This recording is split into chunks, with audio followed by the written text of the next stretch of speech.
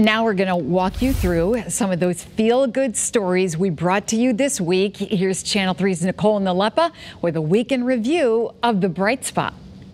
I am amazed, ranging I think from 94 to 101 years old. How about a round of applause for your brothers up here and our World War II veterans?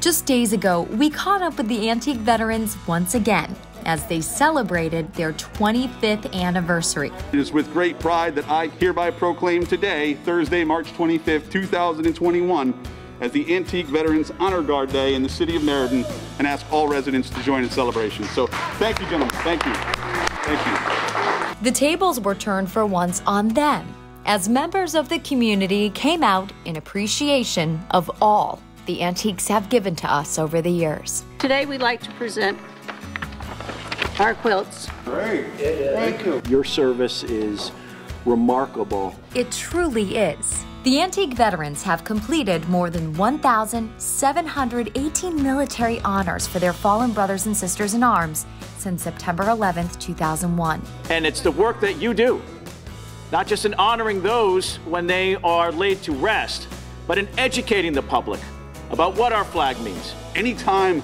I call any one of these gentlemen to be at an inauguration, to come to a parade, to do a ceremonial flag raising at an event, they are there.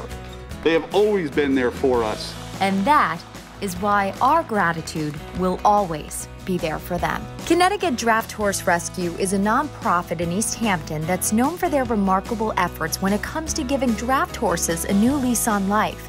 In Marshmallow's case, he just turned 30 years old and has arthritis, so any kind of physical work or riding is out of the question. But being inactive for prolonged periods of time is also just as detrimental to his health. So after putting their heads together this month, the volunteers came up with an idea. They'd appoint Marshmallow as the rescue's mailman. Marshmallow settled right into the role of walking up to the mailbox and picking up the mail each day. He even looks the part too. One of the volunteers turned a donated saddlebag into a unique mail carrier bag just for him.